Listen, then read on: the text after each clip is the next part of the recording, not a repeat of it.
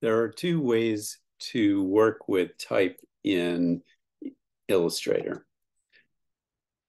So we have our type tool and we can click and we can type.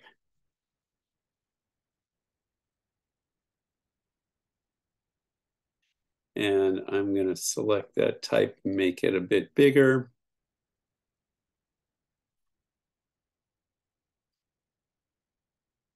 And I can just type on and on and on and it will keep typing off the screen. And then if I want to keep it within the screen, then I need to actually click here and hit return and fix my spelling. And then I can move the type around like that. And if I want to make it smaller, I can hold Command Shift or Control Shift. I'm in the selection tool and I can make it smaller or I can make it larger by holding Command Shift. If I forget to hold the Shift, then I can make it look really, really bad.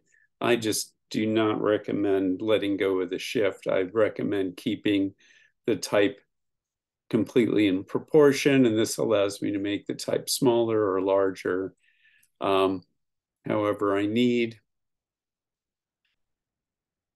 Again, I can click a return wherever I need to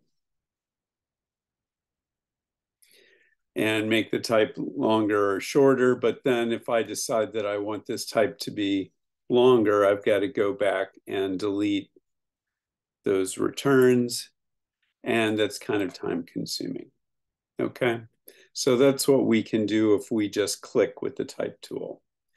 If we take the type tool and we click and drag. And I'm just going to click. So, because I want all of this type, what I can do is now I can drag the text box smaller or larger, and it will conform to whatever size I make this box. Now, the one disadvantage here is that if I hold Command Shift,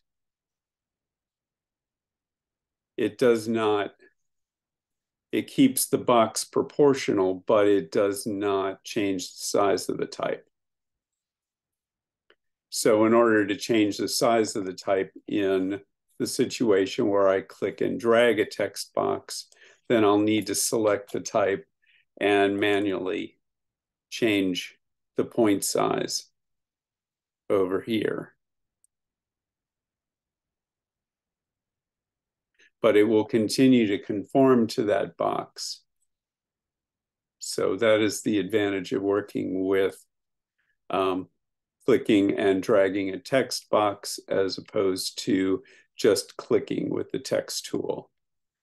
And this is all uh, only in Illustrator. Um, I think the features may be pretty similar in Photoshop. Uh, I know you can click and type type and you can uh, drag a text box in uh, Photoshop as well and probably acts pretty much the same way. In InDesign, you will find that uh, you can only click and drag a text box. Um, you cannot just click with the type tool and type in a line in InDesign.